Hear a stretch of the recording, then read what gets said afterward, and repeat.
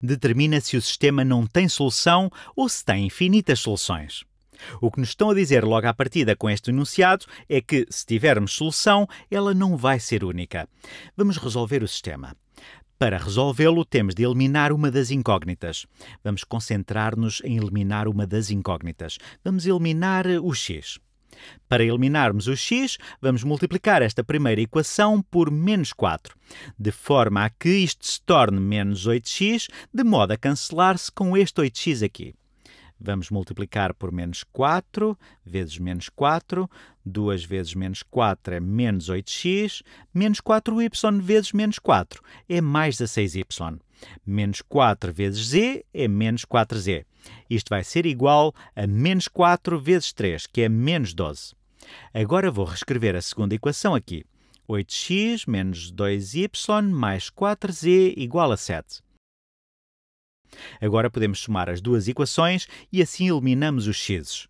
Menos 8x mais 8x cancelam-se. 16y menos 2y dá 14y. Menos 4z mais 4z também se cancelam. Eliminamos os x's e os z's de uma só vez e ficamos com 14y igual a... Temos menos 12 mais 7, que é menos 5. Temos menos 5. Fica só isto. Podemos resolver isto porque é uma equação com uma incógnita e ainda nem usamos a terceira equação. Ficamos com dividimos ambos os lados por 14 e ficamos com y igual a menos 5 sobre 14. Isto é interessante, mas não nos diz nada ao certo sobre a solução. E têm de ter cuidado se decidirem começar a substituir este valor, porque ainda não usamos todas as equações, ainda não usamos a terceira equação. O nosso objetivo era eliminar os x's e por isso vamos usar as duas equações de baixo para eliminar os x's. E vamos ver se descobrimos alguma coisa interessante. A razão por que estou a ser tão cauteloso tem a ver com o facto do enunciado dizer que ou não temos nenhuma solução ou então temos um número infinito de soluções. Vamos usar estas duas equações e tentar eliminar o x aqui. Mantemos a primeira equação na mesma e multiplicamos a segunda equação por 2, porque isto transformar-se-á em menos 8x e será eliminado.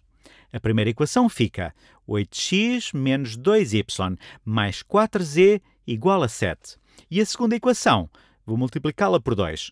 Menos 4x vezes 2 é menos 8x, y vezes 2 é 2y, mais 2y, menos 2z vezes 2, que é menos 4z, e menos 14 vezes 2 é menos 28. Vai acontecer uma coisa muito interessante. Quando usamos estas duas equações, quando tentamos encontrar a interseção entre estes dois planos, vamos encontrar uma coisa bastante bizarra. 8x menos 8x é zero menos 2y mais 2y é outro zero. 4z menos 4z é igual a outro zero. E 7 menos 28 é igual a menos 21. Usando estas duas equações, obtemos este resultado inconsistente ou impossível, em que zero é igual a menos 21. Obviamente que isto nunca é verdade, o que quer dizer que o sistema não tem solução. Não tem solução. Se tivéssemos obtido 0 igual a 0, ou 21 igual a 21, ou menos 21 igual a menos 21, isto queria dizer que tínhamos exatamente o mesmo plano. O que quereria dizer que teríamos um número infinito de soluções, mas neste caso temos os mesmos coeficientes, mas quando os somamos desta forma obtemos um resultado diferente. O que quer dizer que estes planos são paralelos. Se desenhássemos este plano e este plano, um seria qualquer coisa como isto e outro qualquer coisa como isto. E a única forma destes planos se intersetarem é se zero for igual a menos 21, o que é impossível. Eles nunca se vão intersetar. Estes dois planos não se intersetam. Apesar desta primeira equação e tudo o que fizemos aqui, estes planos nunca se vão intersetar, estes dois aqui. E por isso este sistema não tem solução.